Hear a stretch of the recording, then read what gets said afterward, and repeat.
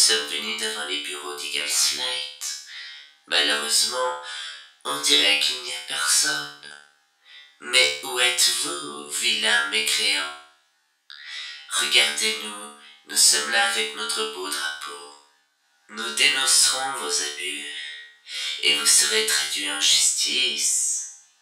Bientôt l'heure du châtiment viendra, et la scientologie sera dissoute. À bientôt.